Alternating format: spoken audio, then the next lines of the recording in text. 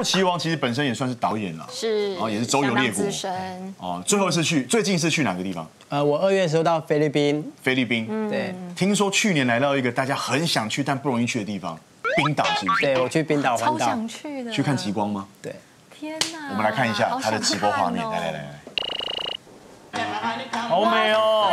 就我自己开车，来这边多好，去什么鬼屋啊？对啊，开车环岛心情好多了。反差太多了吧？结果在这边碰到林毅先生，而且冰岛的规划是每一次就是每五分钟，它景都不一样，每五景都不一样分钟就不一样。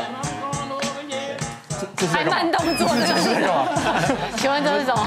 你们直播界的 F 四这是 handover Two 吗？还是 Street 之类的？因为我就边边我就边拍边玩这样子。哇对，所以我都会在外景的时候或者自己去玩的时候就拍一些视频，然后回来跟大家分享，就那个地方有什么好玩的。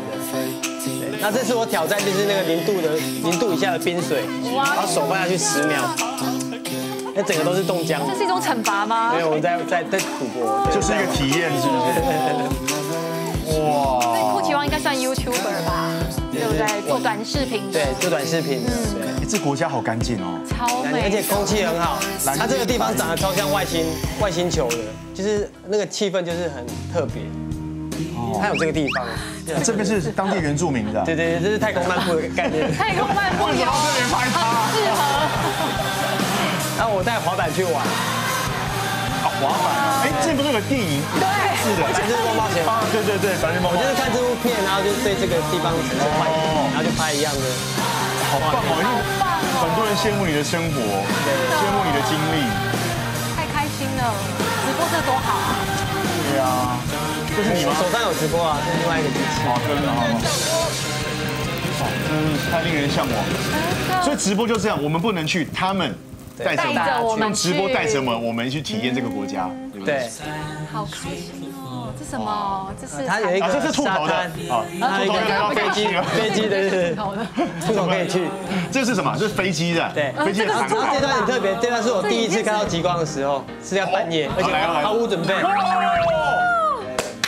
真的极光，对，你看极光它它会一直变变换，它会一直动，它很像跳舞一样。然后你看它的颜色，它其实不是只有绿色，它有黄色、绿色跟红色。哎，这看到很感动吧？对，因为我去的那天刚好是极光大爆发的那一天，所以真的就是，对，就是我就觉得人生就就是应该这样子。这是不是你这辈子看过最美的事物？对，对不对？我两个朋友去，太难忘了。他们觉得极光能看到，真的是此生人生最幸运的事情。哇，你看那个女那个老外没有多正。哦，离题了，离题了。离题了，对，看到哪去了？哎，哦，所以今天四位呢，就要在今天我们的节目跟我们分享他在外地直播的经历。我刚看完这些影片，我只有一个很大的疑问：外面这地方哪有讯号？怎么直播啊？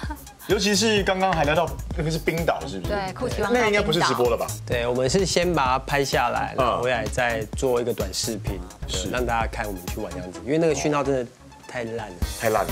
对那如果真的碰到讯号很烂，有办法克服吗？有什么特别的方法吗？呃通常我们在国外旅行的时候，我们呃讯号比较好，都会比较接近城市的地方。是对，那我们可能随时随时会期待那个移动的包，可是有时候效果并没有到很好。那反正我们都要去了，那我们都会先把它拍下来，然后再用其他形式来再做一个，再再让大家看一下这样子。类似就是这个后置就对了。对对对对。哦。